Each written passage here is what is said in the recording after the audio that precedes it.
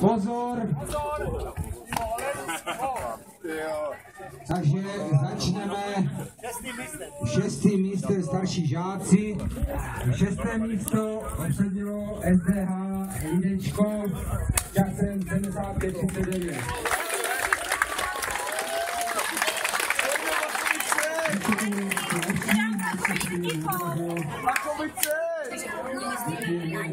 Páté místo SDH Lipová časem 4961.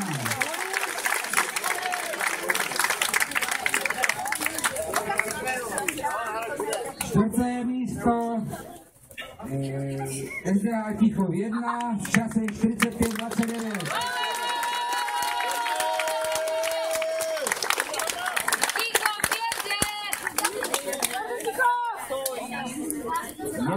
Na bedně se umístilo na třetím místě SDH Mirašov.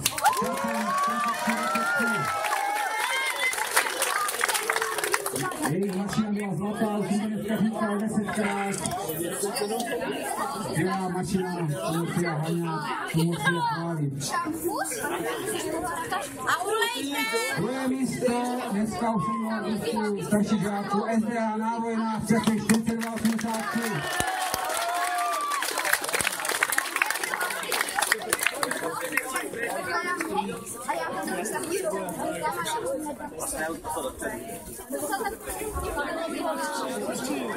A překvapení dnešní pohárové soutěže, první místo SDH Tichou dvojka.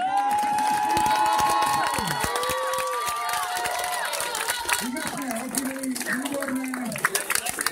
Dá se říct, pokazili, řeknu to tak. Takže mladší žáko obsadil čtvrté místo SDA Ticho s časem 39.14.